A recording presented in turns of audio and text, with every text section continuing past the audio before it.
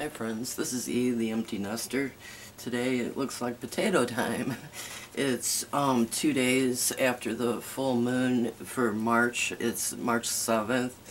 And if you go by the Farmer's Almanac or the old ways of gardening or um, biodynamic gardening, which is the science of gardening by the lunar um, phases, um, right now would be the root time to start. And um, since it's still too early to plant potatoes outside um, it's actually time to start putting your tubers um, into windows if you're planting in um, April.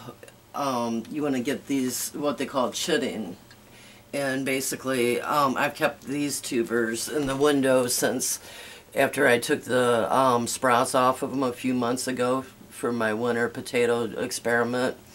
And by keeping them in a cool room with some sunlight, see how green the um, sprouts are on the end. This kept them from growing and turning into really long stems. If you put them in total darkness, you'll end up with um, big old monstrous um, tuber um, what do you call it, sprouts all over your tubers. But today, um, I'm not going to um, get into the tubers, but I'm going to start planting some of the true potato seeds. These are TPS true potato seeds. And these come from berries, like tomato plants have berries, and um, you take the bear the seeds out of the um, berries like you would a tomato plant and then um, save them up to regrow potatoes. This is really an amazing way to do it. If um, you were stockpiling seeds, you know, for future use, these potato seeds right here could create hundreds and hundreds of pounds of potatoes where this won't last the you know till the next year you can't stock up on potatoes so this is, you know, really good for um, guaranteeing that you'll have future potatoes. And it's also a way of getting back to the origins of potatoes. You know, like most potatoes, or the potato actually started in Peru. And a lot of these are as close as I can get for right now. Like this is the purple Peruvian potato. And I've got it sprouting and we'll be doing pull sprouts on it next month and um, the seeds I do have one uh, this one's called um, just a number 320370 this one is Skagit um, Valley Gold Potato. This one is Diamond Toro and this is Muru, M-U-R-U. And then, let's see. I'm just going to basically start them like I would start a tomato plant. And, um, for me, the best way is to just put a little bit of the batting that like you would use to, um, stuff a pillow with and then I have some um, this is organic all-purpose um, starter mix. It's basically um, ingredients sphagnum peat moss vermiculite and a, an organic wetting agent. So I don't know what that is if it's could be the crystals that um, you know keep water into the plant. But it kind of looks like vermiculites in there. But I'm going to fill the cup about halfway full. And then take, see, one of the M-U-R-U, Maru, I hope I'm saying that right, seeds. And putting, um, some people put a lot per a cup. I'm you know, like they do too, and then take a plant away. I really don't like to take away plants, so I plant a little more containers than I need, and then whatever makes it, makes it. And then I've only got one plant per container that I have to worry about. And for me, it's all about um, waste not, want not. But I'm not going to bore you with this. I'm going to go ahead and plant these cups up and what do you call it, get back with you when I'm done. But um, I'm also going to show you, you know, the results, what I've learned from, you know, working with the potatoes all winter. So give me one second and I'll be right back. Okay, I'm back. I've got all these planted, except for, um, I do have another package of Poor Dog. This is also an open pollinated variety, but I thought I'd bring you in a little closer.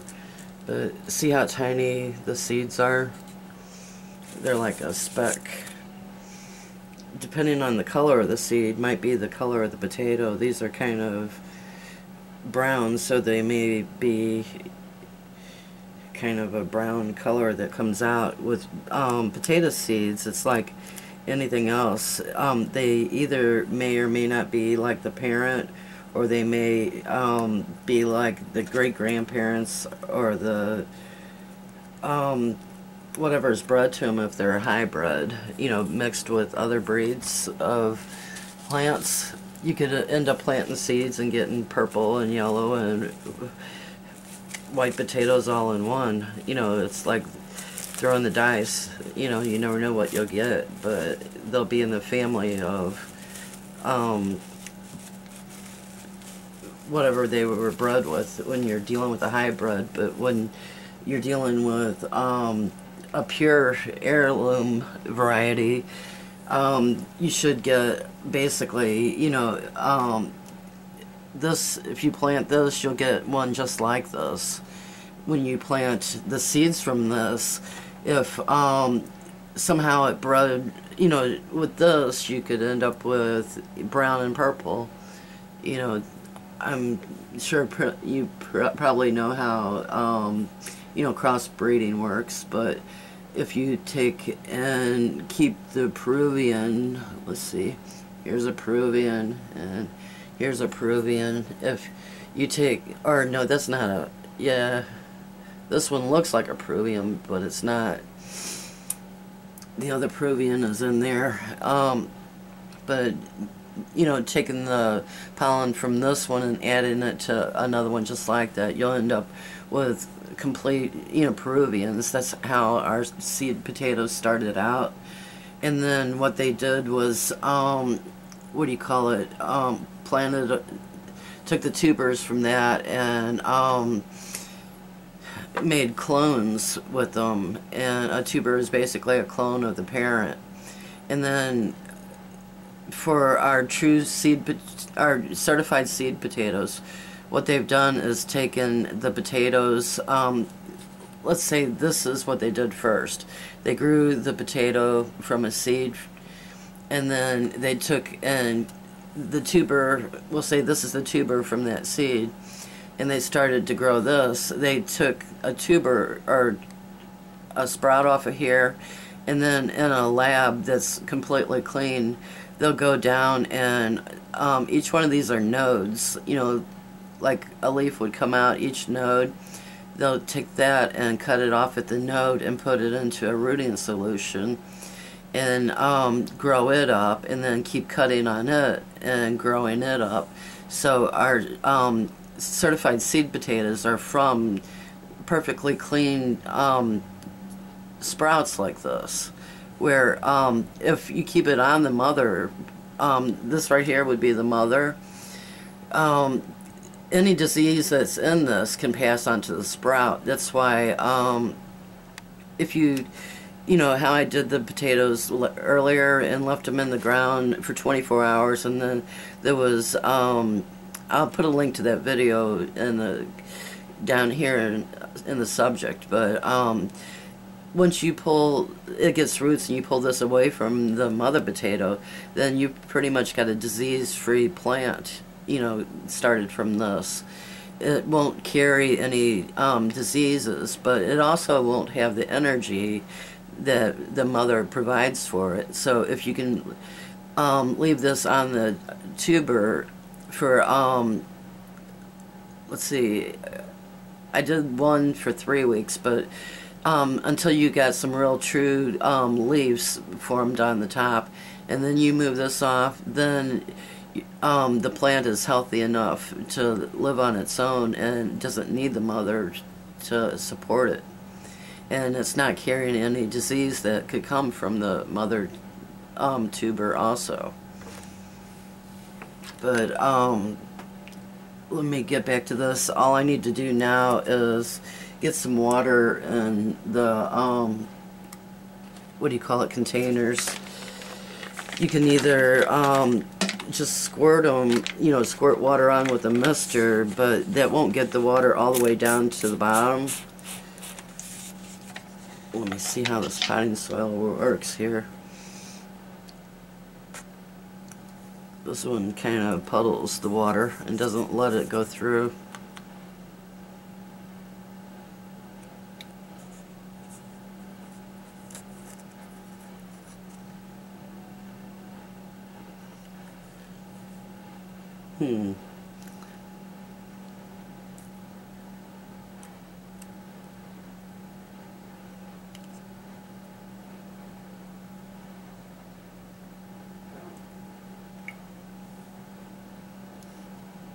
It almost looked like an air bubble sitting on there.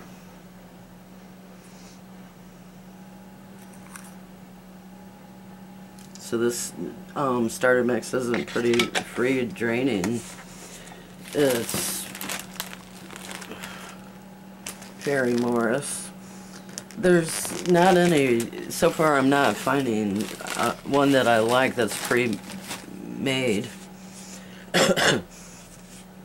Because even though this says that it's only this, this, this, how do you explain, where's the stick that was in there?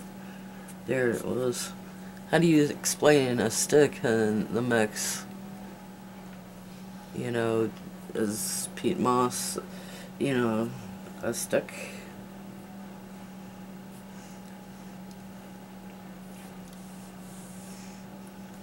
If the water is still sitting on here not going through.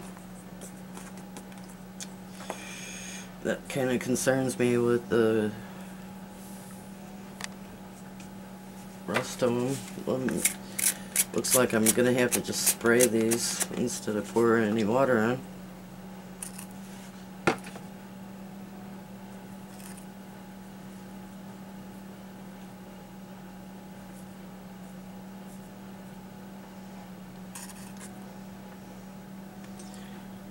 Oh well.